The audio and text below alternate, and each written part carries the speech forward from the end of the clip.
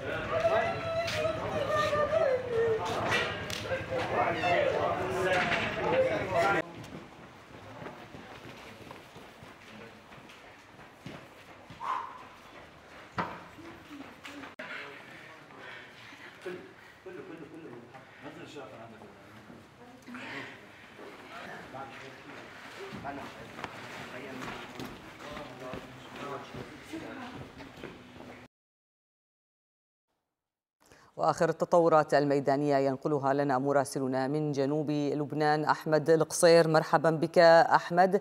لتضعنا بآخر تطورات صباح اليوم وعمليات القصف الجديد. ما هو لديك؟ مساء الخير صباح الخير. صباح ربا طبعا العمليات التي حصلت البارحة تركزت في شمال في شرق البلاد وتحديدا في مناطق الهرمل والمعابر الغير شرعية التي قالت قال الجانب الإسرائيلي انه أستهدف ثمان نقاط منها إضافة إلى أن عدة نقاط من البقاع الشرقي من بعلبك والهرمل كان قد تعرض لعدة غارات ليلا. مع كثافه غارات كانت تركزت هنا في البقاع الأوسط والغربي والشرقي وتحديدا منطقة الخيام وكانت أيضا منطقة كفر الرمان والنبطيه تحت وتبنين. هذه المناطق تعرضت لغارات ليلية كثيفة إضافة إلى الهرمل طبعا هذا التركيز من الغارات حصل في مناطق عدة كان قد نزح أهالي هذه المناطق باتجاه داخل البلاد و أيضا إلى البقاع الغربي والأوسط وإلى شمال لبنان إلى طرابلس وعكار. هذه النزوح كان قد سجل لدى الحكومة اللبنانية ما يقارب 77 ألف نازح مسجلين لديها لكن هذا العدد لا نستطيع احصائه لأنه هو أكبر بكثير ربا. طبعا هذا العدد هناك قسم كبير من النازحين قد سكنوا في الفنادق الموجودة إن كانت في بيروت أو بالبقاع أو بالشمال اللبناني وقسم منهم استأجر منازل. لذلك لا تستطيع الدولة حاليا إحصائهم لأن حتى النزوح لا زال مستمرا من بعض القرى الحدودية طب التي أحمد المناطق التي تستهدف والمدن هل ما زالت مأهولة أم أصبحت شبه خاوية من خلال مشاهدتك للواقع على الأرض؟ نعم ربا. هناك عدد قليل من هذه المناطق بقي فيها القليل جدا من أهاليها إضافة إلى أنه أيضا هناك بعض المناطق هناك موجات نزوح جديدة من هذه المناطق وتحديدا المناطق التي بدأت تستهدف يعني منطقة الغازية في صيدا البارحة تركز القصف عليها تعرضت إلى ما يقارب سبع أو ثمان غارات مساء يعني هذه المناطق تبدا تنزح من جديد يعني إن كان سكان الجنوب الذين نزحوا نزحوا إلى صيدا الآن بدأوا ينزحوا إلى مناطق أخرى اضافه إلى أن ثلاث الأيام الأولى كانت الإحصائية أيضا إحصائية المصابين وصلت حتى 5500 نعم. مصاب وإضافة إلى ما يقارب 650 ضحية كانوا قد عفوا 1550 ضحية كانوا قد سقطوا إضافة إلى أن الدولة اللبنانية كانت قد جهزت ما يقارب 600 مركز ايواء حتى اللحظة، هذه المراكز التي جهزتها لا تزال لا يزال هناك نقص في هذه المراكز طبعا. البارحة كان هناك كثافة نيرانية نيرانية أيضا صاروخية من قبل حزب الله وتحديدا بعد عملية الاغتيال التي طالت قائد القوى الجوية في حزب الله في الضاحية الجنوبية، طبعا القوى الكثافة النارية التي نتحدث عنها آه، ربا كان قد قد استخدم حزب الله في أحد استهدافاته 80 صاروخ واستهدافين آخرين منفصلين. كل استهداف استخدم فيه 50 صاروخا في هذا الاستهداف. يعني ما مجموع أنه أطلقه باتجاه الأراضي المحتلة والسكنات والمقرات والأيدي الإسرائيلية التي يقول أنه استهدفها كانت هذه المجموعة وصلت حتى 200 صاروخ فما فوق. طبعا اليوم صباحا كان هناك له استهداف إلى أحد المستعمرات وكان قد استخدم فيها صاروخ فادي واحد والبارحة كان أدخل أيضا فرق اثنين إلى هذه المواجهة فأصبحت الصواريخ البعيدة المدى هي سيدة الموقف من قبل حزب الله التي يحاول حزب الله استخدامها كانت فادي واحد واثنين وثلاثة وفلق نعم. اثنين وقادر واحد وكلها صواريخ بعيدة المدى يحاول حزب الله بهذه الرشقات الصاروخية إثبات أن القدرة الصاروخية له لم تتأثر بعد كل هذه الأهداف والغارات التي استهدفتها إسرائيل طبعا هذه الغارات استهدفت كما قال أكثر من 2000 هدف الجانب الإسرائيلي إضافة إلى أنه ليلا كان هناك قد سمع رشقات نارية ربما هذه الرشقات النارية كانت هي من رشاشات إسرائيلية من المواقع الإسرائيلية. هناك أيضا تخوف من حالات تقدم إن كان أو تسلل من قبل حزب الله إلى الأراضي الفلسطينية المحتلة وتحديدا أنه منذ قرابة الأسبوعين كان هناك عملية تسلل وأصيبت جثتين لمقاتلين في حزب الله. كانوا يحاولون زرع متفجرات في تلك المنطقة. وتحديدا أن هذه المناطق من موقع الراهب إن كانت قبالة قبالته من الأراضي اللبنانية بل بتعيد الشعب. وإن كان نعم. من وادي هونيم من لبنان هذه المناطق كانت هي الخواصر الضعيفة التي حدثت فيها المعارك والتي حاولت إسرائيل التقدم لها أحمد في عام نعم. 2006 والآن. نعم, نعم. تفضل أكمل أكمل النقطة. طبعا هذه المناطق ربما حاول الإسرائيليون في 2006 التقدم إلى هذه المناطق. طبعا هذه المناطق تعتبر هي مناطق شهدت معارك قاسية من عام 2006 والآن تعود هذه المناطق لتدمر بالغارات الجوية بشكل كامل إضافة إلى حاله ترقب من الطرفين لأي محاولة تسلل إن كانت من حزب الله أو محاولة تقدم بري من قبل الجانب الإسرائيلي. آه ماذا عن آه إذا سألنا عن الحاضنة الشعبية تحديدا لحزب الله ومع هذه آه الأوضاع آه الصعبة والقصف الإسرائيلي المستمر، هل رصدت أيضا مشاهدات عن آه، موقفهم عن ماذا يتحدثون الآن؟ خاصة أن الكثير منهم استثمر كل أمواله وكل ما يملك في بناء منازل أو يعني استثمارات في تلك المنطقة آه، خاصة بعد 2006 ربما المناطق أصبحت فارغة يعني حتى نرصد آرائهم لكن أغلب هؤلاء النازحين الذين اتجهوا من الجنوب لهم أقارب إن كان مع حزب الله أو أقارب في هذه المناطق مم. سقط الضحايا مدنيين سقطوا ضحايا نتيجة هذه الاستهدافات. الآن لا يمكن الحديث عن حاضنة شعبية وحالة شعبية في هذه النقاط. هذه النقاط تحتاج إلى أن تهدأ المعارك وأن أن يكون هناك هدنة حتى يتبين نعم. واقع الحاضنة الشعبية التابعة لحزب الله إن كانت ستستمر معه أو إن كان سيتم تعويض هذه الحاضنة إما من دول عربية أو أجنبية. أو حتى من قبل إيران وحزب الله. نعم.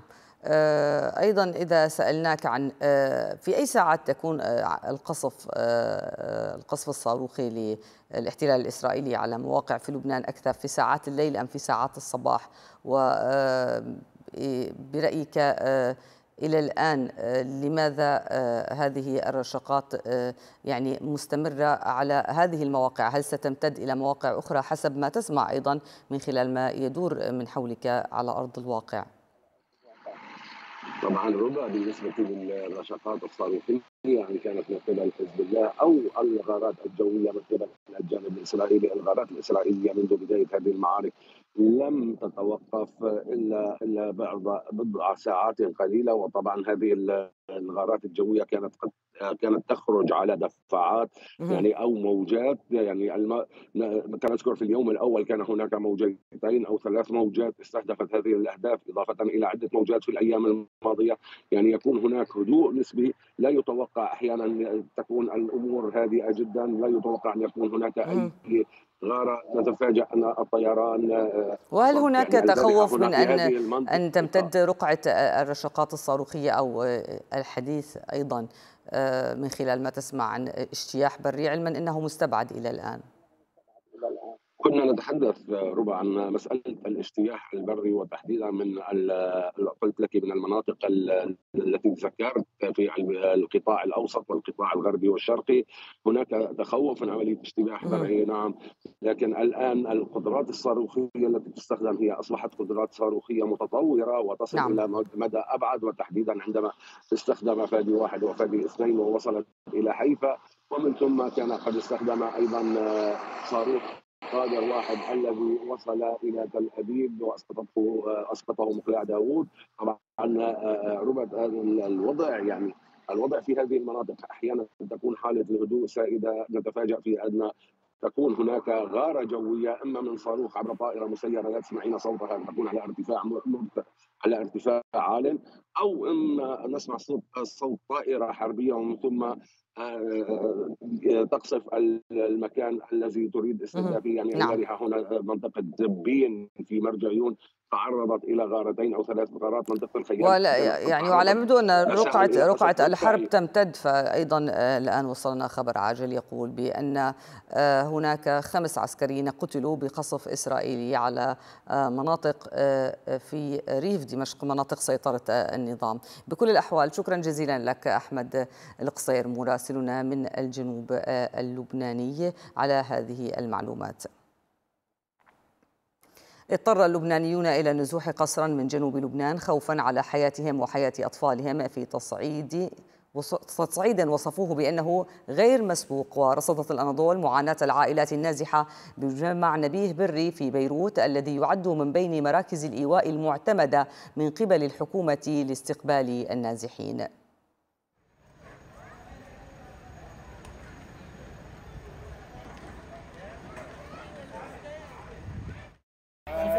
كنا عم نصلي صلاة الظهر آه، الصبح طلع ضربة.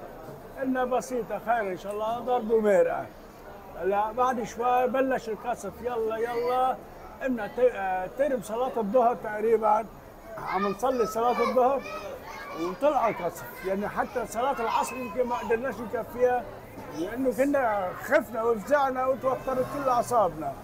عملنا حالنا وطلعنا شيء 12 ترم الصلاة. بقينا للساعة 3 الصبح لو وصلنا على عبيرو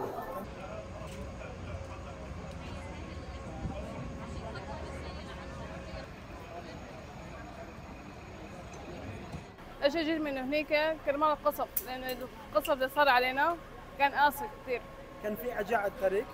إيه. كم ساعة أخذوا؟ تقريبا شي 15 ساعة. 15 ساعة. 15 ساعة من إيه. الشاب البيروت. إيه. كيف الأرداء هلا بالمدرسة؟ وين تعيش أنت؟ هلا جدي أنا ما بعرف بدي يحطوني بأي مكان. جبت البطانيات؟ ما عندي شيء بالمرة. ما في شيء أنت وين أنت تع... تن- تنام؟ على الأرض؟ إيه.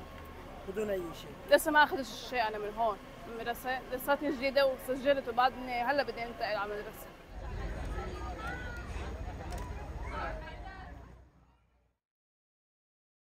حذرت منظمة هيومن رايتس ووتش مما سمته خطر الأذى الجسيم الذي تخلفه الغارات الإسرائيلية على المدنيين في لبنان داعية إلى فتح تحقيق دولي بما وصفتها الأعمال العدائية الأخيرة. وقالت المنظمة في بيان إن أكثر من ألف غارة إسرائيلية استهدفت مختلف أنحاء لبنان أسفرت عن مقتل المئات وجرح الآلاف. في حين حثت مديرة الشرق الأوسط وشمال أفريقيا بالمنطقة لما فقيه الدول الأعضاء في الأمم المتحدة إلى اتخاذ إجراءات عاجلة من أجل تحقيق مستقل في الانتهاكات الحالية. أعرب مكتب تنسيق الشؤون الإنسانية الأممي أوتشا عن قلقه من تدفق السوريين واللبنانيين عبر الحدود إلى سوريا مؤكدا أنه لا يمكن تحمل مزيد من حالات الطوارئ الإنسانية. وقال بيان مشترك للمنسق المقيم للأمم المتحدة في سوريا آدم عبد المولى والمنسق الإقليمي للملف السوري راماناثان بالاكريشنان إن التطورات في المنطقة مقلقة. مرحبين في الوقت ذاته بما سموه قرار النظام السوري بفتح المعابر الحدودية أمام المدنيين القادمين من لبنان فرارا من الأعمال العدائية. وأضاف البيان أن الأمم المتحدة تعمل بالتنسيق مع الهلال الأحمر وتحشد استجابة فورية لتوفير المياه والمواد الغذائية مؤكدا أن نحو 16 مليون و700 ألف في سوريا بحاجة لمساعدة إنسانية في وقت تسجل فيه الاستجابة نقصا في التمويل ولم تلبي سوى 25% من المتطلبات المالية.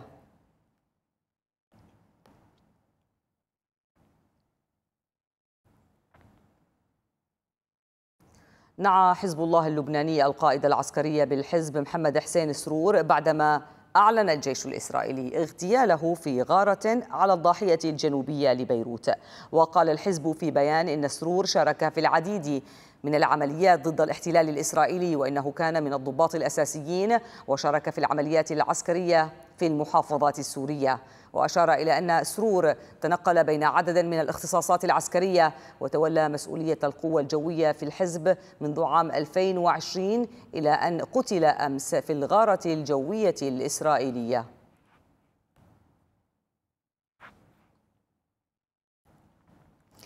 قال الجيش الإسرائيلي إن سلاح الجو قصف نحو 220 هدفا لحزب الله في لبنان يوم أمس وأضاف أن الأهداف شملت مواقع للبنية التحتية ومنصات تم إطلاق قذائف منها باتجاه إسرائيل وعناصر من حزب الله ومنشآت لتخزين الأسلحة في الأراضي اللبنانية.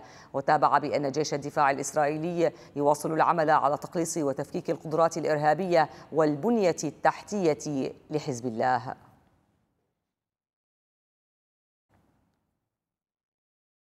نقلت صحيفة وول ستريت جورنال شهادات من ضباط وجنود إسرائيليين عن مؤشرات مؤشرات متزايدة على استعدادات من قبل قادة الجيش لتنفيذ حملة برية على لبنان. وقالت الصحيفة نقلا عن مصادرها إن الضربات الإسرائيلية العنيفة والتي تأتي في وقت تستمر فيه إسرائيل في تعزيز قواتها بالشمال بالإضافة إلى تأكيد رئيس أركان الجيش هيرسي هاليفي أن قواته تستعد لدخول محتمل إلى لبنان هي مؤشرات لحرب برية. وأضافت الصحيفة الأمريكية أن إعلان الجيش الإسرائيلي استدعاء لواءين من الاحتياط كجزء من استعداداته لمزيد من القتال ضد حزب الله يعزز من احتمالية الهجوم البري.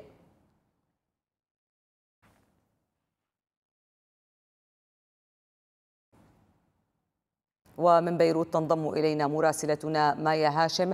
مرحبا بك مايا. حدثينا عن صباح اليوم. كيف هي الأوضاع لديك بداية؟ وكيف كانت الليلة الفائتة؟ نعم ربا الحال على ما هو عليه التصعيد سيد الموقف على الرغم من أن تفاوت الغارات التي يشنها جيش الاحتلال بين الحين والآخر وتشتد وتيرتها بين حين وآخر إلا أن الجنوب اللبناني هو بشكل مباشر مستهدف من قبل جيش الاحتلال إذ أن الغارات استهدفت العديد من القرى والبلدات الجنوبية ديرنطار والبزورية والحوش وبرج الشمالي والنبطي وأيضا آه، بالقرب من مدينة صور العباسية وأيضا قرى وبلدات كثيرة. أيضا كان جيش الاحتلال قد أوصل غاراته إلى العمق اللبناني وإلى البقاع. فالوضع على ما هو عليه ربا التصعيد سيد الموقف على الرغم من الحديث بمكان ما عن نداء أمريكي أوروبي عربي مشترك لوقف نعم. إطلاق النار ل 21 يوما.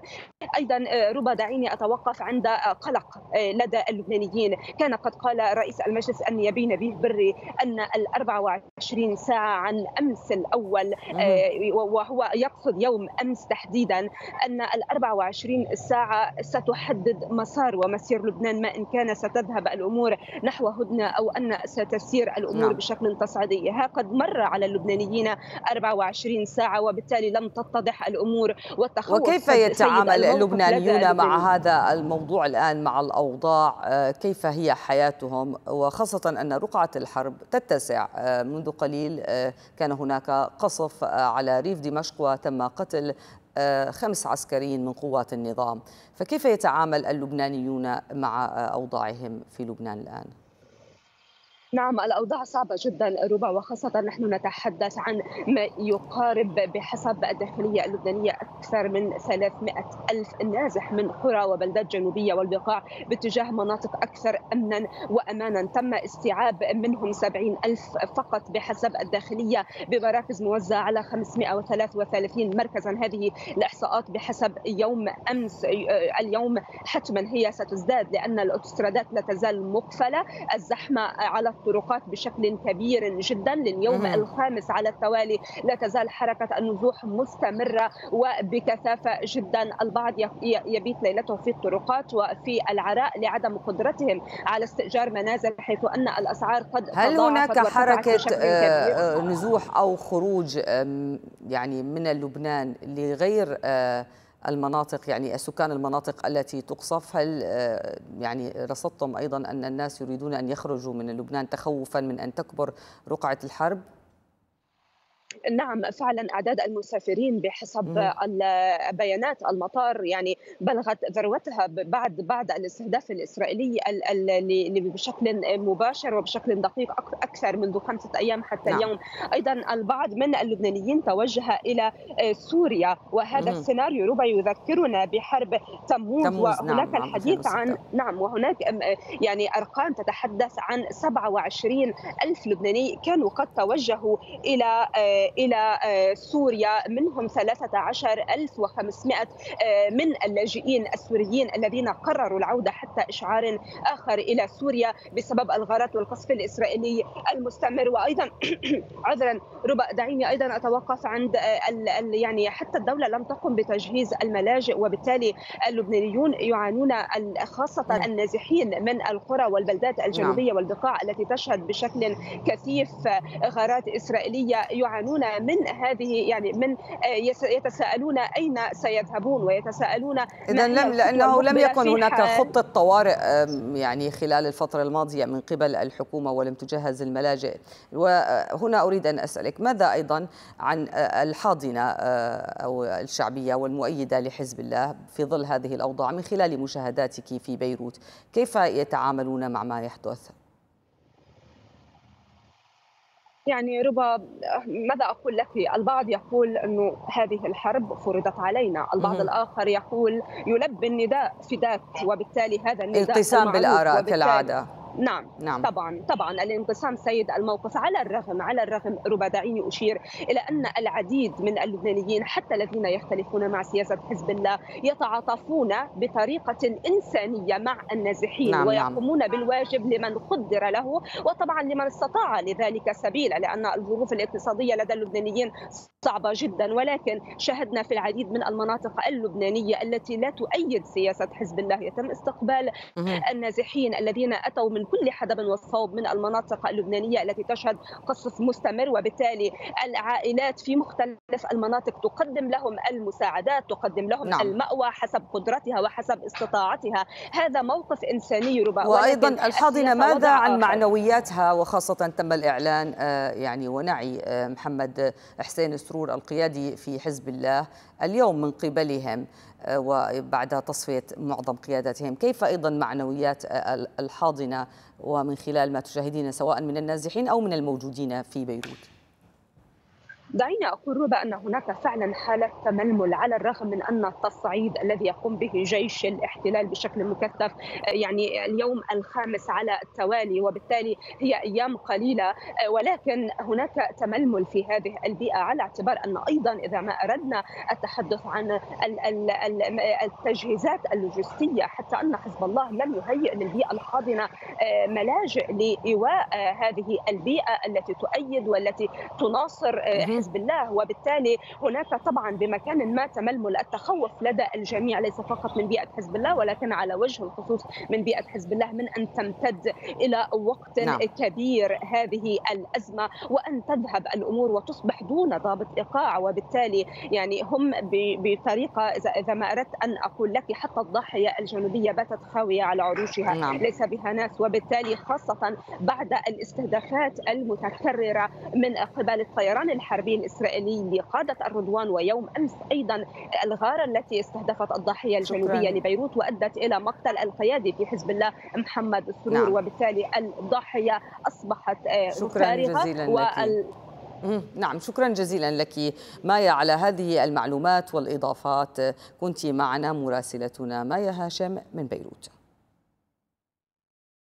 أعلنت تل أبيب أنها اعترضت خارج حدود إسرائيل صاروخا من نوع أرض أرض أطلق من اليمن مبينة أنها استخدمت في ذلك منظومة الدفاع الجوي آرو. هذا وأعلن الإسعاف الإسرائيلي إصابة 18 شخصا من جراء التدافع في أثناء توجههم إلى الأماكن المحصنة بعد انطلاق صفارات الإنذار في تل أبيب بعد رصد الصاروخ. واضطرت إدارة مطار بنغورين الذي يقع قرب تل أبيب لإيقاف عمليات إقلاع وهبوط الطائرات لفترة وجيزة بعد تفعيل أنظمة الإنذار. تل أبيب ولعت تل أبيب ولعت. ضو ضو ضو ضو. هذا كافي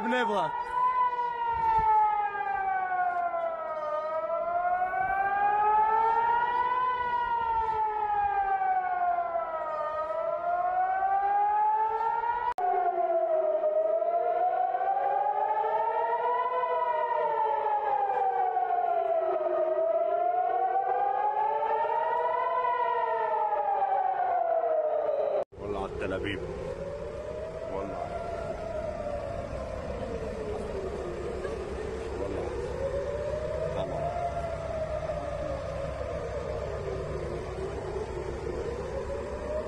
אבל זה לא כאן.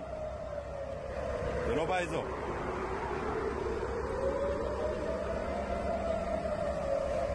طلعوا كيف ناموا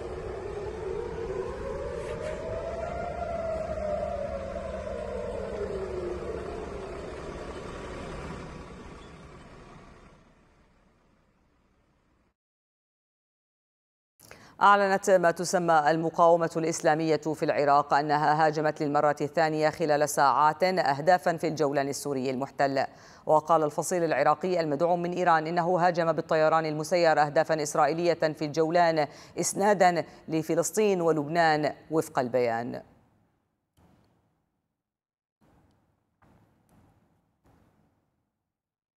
وعبر الهاتف تنضم إلينا مراسلتنا ريم العمري من القدس المحتلة. مرحبا بك ريم. آه، لنتحدث عن آخر المعلومات والتطورات لديك خاصة قصف مواقع للنظام وقتل خمس عسكريين في ريف دمشق. ماذا يدور في الأوساط السياسية في تل أبيب؟ نعم هي آه، ربا حقيقة. ليلة حامية كانت آه، الليلة الماضية وفجر هذا اليوم الجمعة. رشقات صاروخية كبيرة ومتبادلة. ودعيني أبدأ من هذا الخبر بالغارات التي استهدفت موقعا عسكريا بريف دمشق. حقيقة الخبر قبل دقائق يعني تم الإعلان عن مقتل خمسة عسكريين بهذه الغارات التي قام بها الاحتلال بريف دمشق. وكما أعلنت وزارة الدفاع السورية تم قتل خمسة عسكريين بهذه الغارات. هي ليست المرة الأولى التي تشن فيها إسرائيل غارات على هذه المواقع وحقيقة بين بعد الموجة الأخيرة آه، بين حزب الله وبين إسرائيل كثفت أيضا إسرائيل من غاراتها على المواقع في الأراضي السورية. وتقول أنها دائما مواقع آه، عسكرية تابعة لحزب الله وأنها تقوم بذلك حتى لا آه، أو يعني هي طيب ريم هل يتم الحديث في أروقة السياسة الإسرائيلية أو حتى في وسائل الإعلام أو من خلال التسريبات أنه آه، هناك نية لإسرائيل أن توسع رقعة الحرب إلى سوريا؟ لأننا نسمع هكذا تحليلات لكن هل تم تداول هكذا معلومات أو تسريبات حسب آه، يعني ما تسمعينه؟ ما تم تداول ربه هو أن إسرائيل لا تريد نقل أي نوع من الأسلحة من الأراضي السورية إلى مم. لبنان أو حتى مقاتلين كما تم طبعا الحديث والتداول أن هناك ربما سيكون مقاتلون جاهزون للقتال في الجنوب اللبناني. لذلك هي تقوم بهذه الغارات استباقيا حتى لا يحدث أي من ذلك. قبل هذه الغارة في ريف دمشق هي أيضا قامت بغارة آه، قبل يومين استهدفت الطريق الحدودي بين آه، لبنان وسوريا بغارة آه، كبيرة أطلقت من خلالها الكثير من الصواريخ وتقول إسرائيل أنها دمرت جزء كبير من هذا الطريق وذلك حتى لا يكون هناك مجال لنقل أي أسلحة جديدة لحزب الله في ظل الحرب الدائرة هناك بين حزب الله وإسرائيل. فهي آه، دائما ما تخشى هذا الأمر لكن حديث عن أنها ستقوم مثلا ب آه، يعني استهداف مباشر لهذا الأمر أو أنها يعني لديها أي معلومات حول هذا الموضوع هي لا تتحدث. وعادة أصلا الشأن السوري تحديدا والضربات على الأراضي السورية إسرائيل تتكتم عنها بشكل كبير ولا تعطي أي معلومات أو تفسيرات لماذا قامت بذلك سوى أنها لا تريد التفسير أو التبرير الوحيد الذي تقوله دائما أنها لا تريد أي إمدادات عسكرية لحزب الله من الأراضي السورية أو من إيران على الأراضي آه، السورية نعم. آه، في موضوع آخر أيضا متعلق بالقصف آه، الصاروخي وبما كنت تتحدثين عنه قبل قليل ربما المقاومة الإسلامية في العراق نفذت عمليتين هذا الفجر ضد أهداف للاحتلال كما تقول وكما يقول البيان الذي أصدرته واحد باتجاه الجولان بواسطة صاروخ الأرقب كما آه، أسمته وهو صاروخ كروز آه، مطورة. وأيضا آخر باتجاه طبرية صباح هذا اليوم ويبدو أنه سقط بشكل مباشر أيضا. في طبرية. وأيضا فيما يتعلق بالصاروخ بصواريخ رشقة من الصواريخ أيضا وصلت مدينة حيفا في تطور جديد في هذا الأمر حيث قبل قليل تم الإعلان أن هذه الصواريخ سقطت في الميناء. في حيفا. آه، نعم. نتحدث هنا وأيضا عن صفارات الإنذار دوت في تل أبيب آه، قرب مطار بن غوريون يعني وكان هناك إصابات و... نعم. ما, ما تفاصيل هذا الموضوع أيضا؟ وكيف مرت هذه الليلة آه، على يعني الإسرائيليين هناك؟ نعم كما قلت لك هي يعني من أقصى وأحمى الليالي كانت فيما يتعلق بهذا الأمر استهداف تل أبيب بصاروخ جاء من اليمن. هذا الفجر تحديدا عند الساعة الواحدة معني بعد تعاملوا مع الموضوع ضد الحكومة الإسرائيلية. هل هناك أصوات تنادي بإيقاف الحرب لأنهم لا يريدوا أن تتوسع الرقعة وتصلهم؟ هكذا رشقات صاروخية. أنا أتحدث عن كيف تعامل الناس مع ردود الأفعال إن رصدت شيئا وإن كان لديك معلومات عنها. ردود الأفعال الرسمية رباب على العكس تماما. بعد هذه الرشقه من الصواريخ التي وصلت حيفا وأيضا تل أبيب من اليمن وتسمى أيضا بالمقاومة الإسلامية بالعراق م. نتنياهو أصدر تصريحا قال فيه سنزيد وتيرة التصعيد بالصواريخ والهجوم على حزب الله. هي دعوات على العكس بزيادة الهجوم وبزيادة الغارات وأصبح خيار كما قيل المناورة العسكرية أو الحرب البرية نعم. ليس بعيدا. يعني كلما هناك حديث إذن عن الاجتياح البري لم يعد بعيدا. نعم, نعم. بكل الأحوال شكرا نعم جزيلا لك. أكثر. شكرا جزيلا لك ريم العمري مراسلتنا من القدس المحتلة على هذه المعلومات. كنت معنا عبر الهاتف.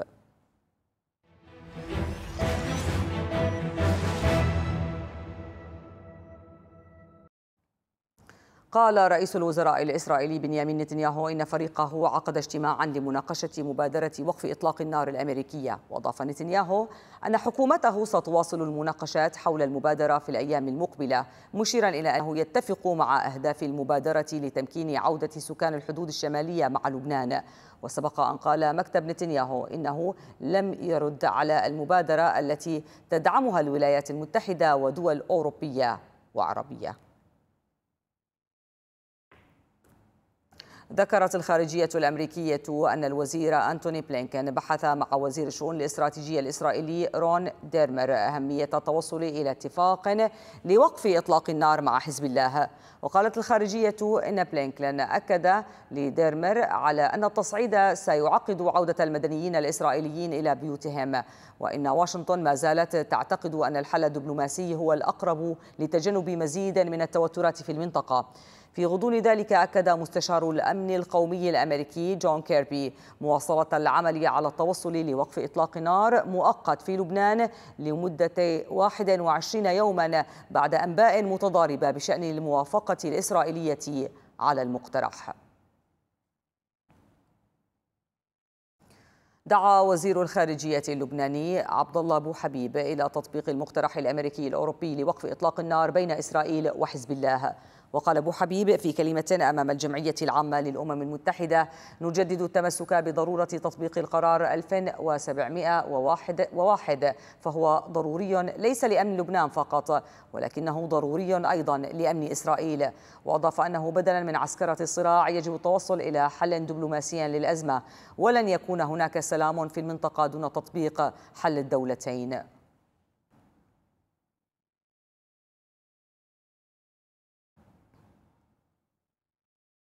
ونرحب الآن بالدكتورة تمارا حداد الأكاديمية والباحثة السياسية في الشأن الاستراتيجي من رام الله. مرحبا بك سيدة تمارا. ماذا تخبئ يعني الآن إسرائيل بهذه المبادرة التي يوم أمس نتنياهو يقول لم يرد مكتبه أو أنهم غير موافقين عنها والتصريحات السياسية كانت رافضة لها. اليوم على ما يبدو هناك نوع من الليونة. ما تقديرك بهذا الموضوع؟ هل ستمر هذه مبادرة للهدنة؟ صباح الخير. صباح النور. تحياتي لكم الكريمة. أعتقد أن نتنياهو ما زال يستخدم في سياسته الهجومية المتعلقة بالتصعيد التدريجي حتى تضغط على المقاومة اللبنانية أو يضغط على حزب الله. حزب الله حتى هذه اللحظة لا يوافق على أي مقترح فيما يتعلق بالتعدي عن ما بعد نهر الليطاني أكثر نعم. من 10 كيلومتر. لكن هناك تحدي أو تعنت من قبل إسرائيل بأن هناك أكثر من شرط حتى يتم عودة النازحين أو المستوطنين إلى أماكن سكناهم. هذه العودة لا تتأتى إلا بترتيبات أمنية جديدة وفق الشروط الإسرائيلية وفق الإملاءات الإسرائيلية. أعتقد أن هذه المبادرات التي يتم تقديمها سواء كان الولايات المتحدة الأمريكية أو الفرنسية لها علاقة بكسب الوقت بمعنى ما زال حتى هذه اللحظة أن هناك تقاطع أمريكي إسرائيلي لتحقيق الأهداف وهي عودة النازحين إلى أماكن سكناهم لكن بهذه الشروط الصعبة انسحاب حزب الله إلى شمال الليطاني وموضوع السلاح وقدراته العسكرية. يعني هي شروط يصفها البعض بأنها غير قابلة للتطبيق وبالتالي أن هذه يعني المبادرة أو هذه الهدنة أو هذه المفاوضات لن تبصر النور أصلاً. نعم هذا صحيح. يعني هناك لا توجد هناك أي جدية حقيقية من نتنياهو لقبوله بهذه المبادرات. هي في سياقها هي فقط لكسب الوقت. يريد نتنياهو أن يستخدم كما تم استخدامها في سياسة أو التعامل مع إدارة قطاع غزة وهي في عملية اطاله الحرب حتى يتم تنفيذ الأهداف، هذه الأهداف هي لا تتحقق ولكن هو يريد أن يحققها عن طريق القصف الجوي، عن طريق سياسة الأرض المحروقة، سياسة نعم. الأرض المحروقة كما حدث قطاع غزة النزوح القسري سوف يضغط على اللبنانيين أن يتم عملية نزوحهم بشكل قسري أصبح حتى هذه اللحظة قرابة 250 ألف نازح لبناني من أماكن سكناهم نعم. سوف يستخدم الجوي بشكل مستمر. وإذا لم ينجح الخيار الحربي المتعلق بالقصف الجوي وسياسة الضربات المستمرة من قبل إسرائيل أعتقد أن حزب الله صحيح سوف يواجه الرد على هذه الضربات والآن ما زال يحافظ على قواعد الاشتباك المست... حتى هذه اللحظه يحافظ عليها حتى لا تتطور إلى حرب إقليمية أو مفتوحة أو بالأحرى مفتوحة. الإقليمية إيران لن تتدخل وباعتقادي لن تتدخل في لكن الحرب لكن الحرب السيدة تمارا أصبحت واسعة وأصبحت شبه مفتوحة آه، في لبنان آه، غزة منذ عام تقريبا وهي تباد ومتوسعة. رقعة الحرب أساسا ليست بالضيقة. آه، لكن الآن أيضا البعض يتحدث عن اجتياح بري وهناك تخوف من أن تقوم قوات الاحتلال الإسرائيلية بالإجتياح البري. برأيك هل هذا يبقي قواعد الاشتباك إذا وصلت الأمور إلى آه، الاجتياح البري؟ حتى هذه اللحظة أن قواعد الاشتباك هي توسعت هي لا يعني نشير لها أنها هي منضبطة أو هناك حسابات منضبطة في أي خطأ ما بالفعل هي حرب دخلت مؤشراتها ومعطياتها الحرب المفتوحة لكن في عملية أن حتى هذه اللحظة الخيار الذي يستخدمها الكيان الإسرائيلي هو التصعيد المتدرج. إذا لم ينجح التصعيد المتدرج أي أن يضغط على حزب الله أن يبتعد إلى بعد نهر الليطاني أو يحقق شرط أو بند 1701 أعتقد أن خيار الدخول البري سوف يكون قائما. قد يكون هذا الخيار حتى هذه اللحظة صعب قد يكون على الجيش الإسرائيلي وضباط الجيش النظامي والإحتياط لكن نعم. هذا الخيار مطلوب حتى يكون هناك وما هي خيارات حزب الله برأيك بهذه الحالة؟ حزب الله حتى هذه اللحظة ما زال منضبطا نظرا أن الإيرانيون غير معنيون أن حزب الله يستخدم كافة الصواريخ البالستية أو عملية التطور في استخدامه حتى لا يتم عملية استخدام ذريعة للدخول البري. ولكن إسرائيل الآن أصبحت أكثر تحمسا لا يوجد لديها أي رادع بالعكس الولايات المتحدة الأمريكية هي تتقاطع حتى لو كان هناك إعلاميا أن هناك مبادرات. لكن في نهاية المطاف أمريكا هي ملتزمة بالدفاع عن الأمن القومي الإسرائيلي حتى لو كان هناك تنظيم ما بين الجبهة نعم. الحوثيه اليمنية. أعتقد هذا التنسيق لا يتأتى بأن يضغط على إسرائيل أن تتوقف عن دخولها البري إن كان هذا الأمر احد أحد الخيارات حتى تنفذ إسرائيل أهدافها، حزب الله حتى هذه اللحظة يعول على دخول إيران، أعتقد إيران لن تدخل بالعكس الرئيس الجديد هو يريد أن يحسن علاقاتها مع الغرب. وبالإضافة أن إيران نعم. لا تريد أن تتخلى برنامج النووي أو عملية توسع يعني دكتورة تمارا في هذه الظروف عن الحرب آه، هنا هذه مشكلة كبيرة حقيقة. الولايات المتحدة تدافع عن الاحتلال الإسرائيلي وهمها الأول هي حماية آه، أمن آه، إسرائيل. لكن إيران البعض يقول أنها تخلت عن حزب الله في هذه الظروف الصعبة جدا من أجل مصالحها ومنها الملف الإيراني الذي عاد ليطفو على السطح الآن وعلى يوضع على الطاولة.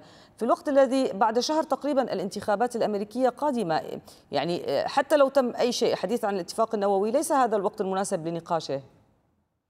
صحيح سؤال مهم جدا. لذلك إيران حتى هذه اللحظة هي تستخدم الأوراق الاستخدامية كما استخدمت حركة حماس حتى تلهي إسرائيل عن برنامجها النووي وأيضا تستخدم حزب الله من أجل أن تحسن شروط الاتفاق النووي. هي تعتقد أن إيران خلال الفترة الحالية بوجود بايدن قد يكون هناك برنامج نووي أو اتفاقا نوويا يتلائم مع المصالح الاقتصادية والسياسية الأمنية الإيرانية. إيران هي لا تنظر بواقع أن المستقبل القادم قد يكون هناك وجود أحد الشخصيات شخصيا حتى لو جاءت هاريس هاريس لن يعني ترفض السياقات الدولة العميقة نعم. الدولة العميقة الأمريكية لا تقبل بأي عملية تفاوض مع إيران، الآن هناك حسم ما بين الإسرائيليين والايران والأمريكان أن لا يكون هناك برنامج نووي ينافس الواقع الإسرائيلي، لذلك إيران تقرأ آه، الواقع السياسي والحرب الميداني بشكل خاطئ، هي تعتقد أن استخدامها لحزب الله وأن تتركها من أجل أن تحسن واقع تفاوضها هي تقرأ بقراءة خاطئة. وناهيك أن إيران مستعدة أن تتخلى عن حزب الله من أجل مصالحها وأيضا من أجل الحفاظ على توسعها في المنطقة سوريا لبنان العراق بالاضافه ألم تتخلى إلى الآن حسب رأيك بعد كل آه هذا ألم؟ تقريبا حزب الله تم تصفية كل آه واغتيال كل قياداته تقريبا. ألا تعتبر تخلت الآن؟ طبعا هي تخلت إذا تحدثنا بقراءة ميدانية واقعية. إسرائيل الآن هي قامت بقتل العديد من الكوادر لحزب الله قتلت العديد من كوادر أيضا قوة الرضوان حتى على مستوى قتل بعض الكوادر الحرس الثوري. يعني هناك أيضا الشخصية التي أرادت إيران أن تدافع أو ترد على قتل إسماعيل هنية في عقر دارها في قلب طهران. هي لم تقم بعملية الرد هي تشير عبر الإعلام سوف نرد سوف نرد سوف نرد لكن ميدانيا واقعيا هي لا ترد. الان هي تريد أن تحسن شروط التفاوض فيما يتعلق البرنامج النووي من خلال أن يكون هناك نوعا ما من حالة الاستمرار في الحاله الاستنزافية. إسرائيل أوقفت حالة الاستنزاف الآن وصلت إلى مرحلة الهجوم. هذه مرحلة الهجوم هي يعني تعبر عن واقع أن الصراع الحالي إسرائيل تريد أن تحسمه وأنها لا تريد أي وجود أذرع. إيران في المنطقة يحاط تهديدات للواقع الإسرائيلي. وأيضا نتنياهو عينه الآن على البرنامج النووي ليس فقط على عينه على تقويض أذرع إيران ممثله بالحركات حماس حزب الله أو الحركات الأخرى. أيضا عينه الآن على البرنامج النووي بمعنى أن تقوضه ان لا يصل إلى العتبة النووية. هذا نعم. ما يفكر به نتنياهو. طيب. نتنياهو ليس فقط نتنياهو نتنياهو أيضا يقوم بهذه الحروب هو قام بحرب الإبادة. على غزة لتقريبا عام وكان فقط هدفه سياسيا ليبقى في الحكم وليحمي نفسه. الآن فتح معركة أخرى مع حزب الله في جنوب لبنان على ما يبدو أنها أكسبته تأييدا شعبيا. لكن إلى متى يستطيع أن يستمر بفتح هذه الجبهات كي يحمي نفسه سياسيا ولكي يحافظ على ائتلافه الحاكم وحزبه اليمين المتطرف مؤيد لما يقوم به؟ نتنياهو حتى هذه اللحظة وجد وضمن أجندته ضمن الحكومة اليمينية الائتلافية متمثلة من كثير وسموتريتش وغيرهم كلهم متفقون حتى على مستوى المعارضة الإسرائيلية متفقون على فتح جبهة مع حزب الله. الواقع في قطاع غزة صحيح بعض المعارضة معنية بتحقيق صفقة من أجل إخراج الرهائن ثم استئناف إطلاق النار على أرض قطاع غزة. بمعنى أرض قطاع غزة الآن لا يوجد لديهم أي نوع من التفكير باليوم التالي. بمعنى أن الواقع الإسرائيلي يفرض الفرض الأمر الواقع على أرض قطاع غزة من خلال إعادة الاحتلال المباشر والغير مباشر وأيضا أخذ جزء كبير من أرض قطاع غزة الشمال ويحولها إلى مستوطنات وإيجاد قواعد عسكرية وأمنية في هذه المنطقة بالحفاظ بالإضافة إلى الحفاظ على وجود إسرائيل على محور فيلادلفيا بالإضافة لممر النتسري فيما يتعلق المنطقة الشمالية أيضا سوف يفرض فرضا أمرا واقعا بوجود التحالف الأمريكي وبعض الدول الغربية. وبالإضافة صحيح قد نتنياهو قد يكون هناك شعبيا نوعا ما بعض الأصوات تريد وقف هذه الحرب لكن الشارع الإسرائيلي بدأ الآن يتجه نحو كليا إلى اليمين الأكثر تطرفا وهم معهم نتنياهو في سياق استمرار حرب تحديدا حتى يتم إبعاد حزب الله إلى بعد نهر الليطاني ويكون هناك نوعا ما من أمن واستقرار في المنطقة الشمالية وإيجاد منطقة آمنة عازلة في المنطقة الشمالية. أعتقد أن القاعدة الشعبية اليوم تحولت إلى الوصول إلى القاعدة الانتخابية التي يريدها نتنياهو وهي أن يعزز اصواته الانتخابية، نتنياهو نعم. لن يشير إلى وقت انتخابات مبكرة الا بالتعزيز والتأكد طيب. أنه سوف يعود الحلبة السياسية اذا نتنياهو لديه في شهر 12 ديسمبر الثاني من ديسمبر هذا العام الجاري محاكمات الفساد لذلك الآن نعم. سوف يطيل الحرب في الشمال إذن أو الجنوب إذن حسب رأيك دكتورة تمارا هذه الحرب التي توسعت ستستمر ربما لا نعرف إلى متى أو ماذا إلى متى ستستمر حسب تقديرك.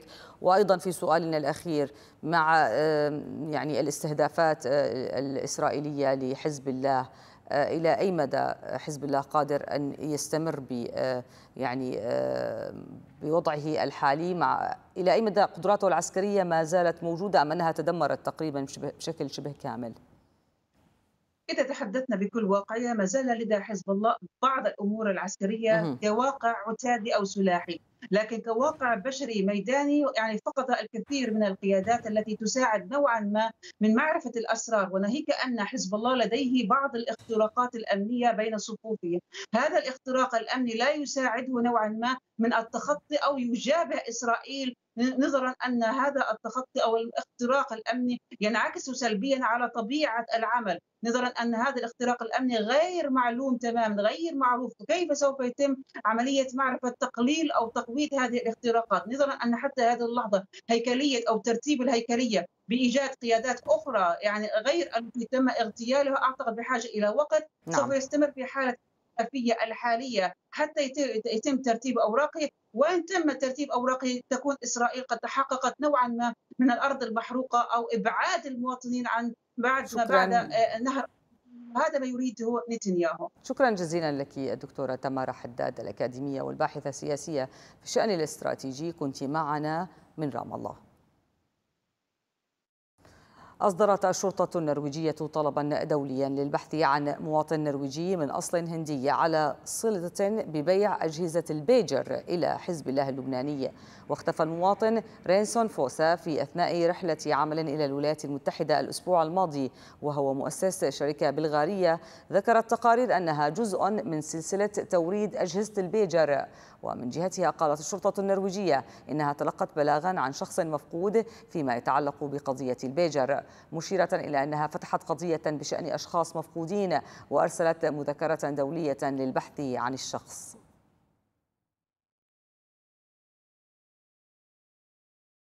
أغلق النظام السوري قبل أيام مكتب تجنيد لحزب الله بالقرب من مقام السيدة زينب بريف دمشق.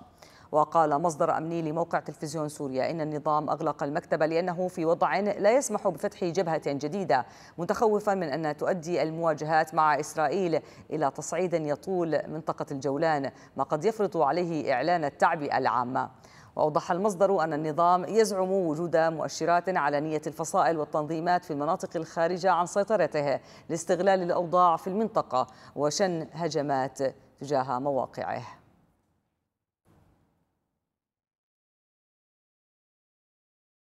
حذر الائتلاف الوطني السوري من توجيهات نظام الأسد بتسهيل دخول عناصر حزب الله اللبناني وأسرهم إلى سوريا في سياق استكمال مشروع التغيير الديمغرافي الذي بدأه النظام وإيران منذ سنوات.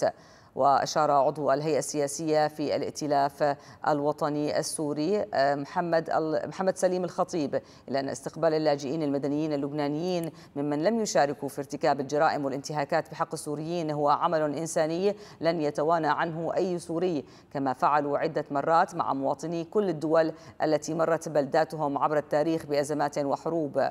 وأبدى تخوفه من أن يستغل النظام الأسد العدوان الإسرائيلي على لبنان من أجل توطين عائلات ميليشيا حزب الله وتعزيز وجوده العسكري في سوريا.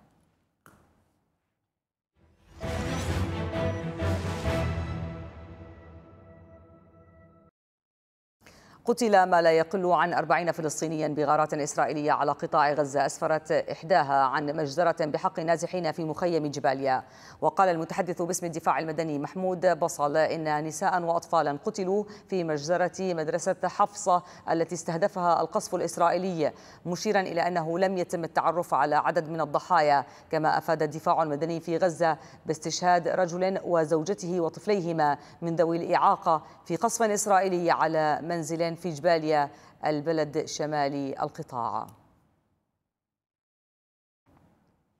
أعلن وزير الخارجية السعودي فيصل بن فرحان إطلاق تحالف دولي من أجل إقامة الدولة الفلسطينية وتنفيذ حل الدولتين لافتا إلى أن الاجتماع الأول سيعقد في الرياض.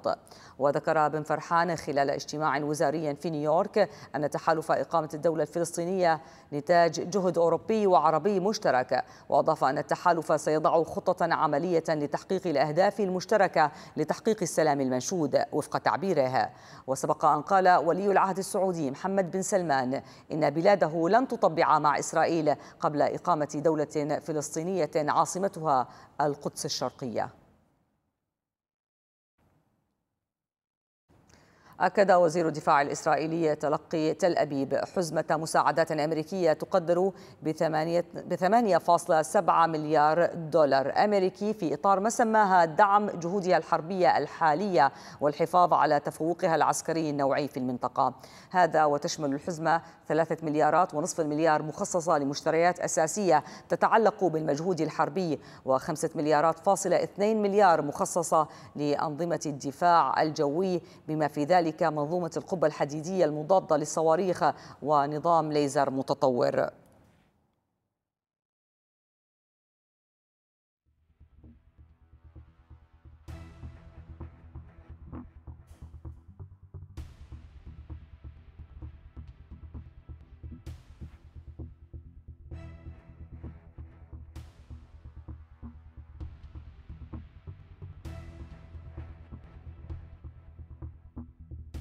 مشاهدينا لقاكم على رأس الساعة في تغطية عن السويداء.